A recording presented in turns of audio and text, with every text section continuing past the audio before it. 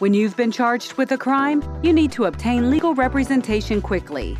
And the last thing you want to do is work with an attorney who has only limited experience in criminal law.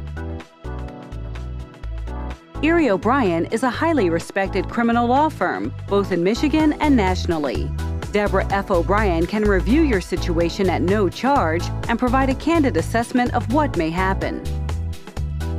For cases involving operating while intoxicated, OWI, drug possession, spousal abuse, disorderly conduct, or any other crime, we have the skill and experience necessary to minimize the impact on your life We'll protect your rights, ensure that you're treated fairly, and aggressively defend you. For more information, contact attorney Deborah F. O'Brien at Ihrie O'Brien and St. Clair Shores.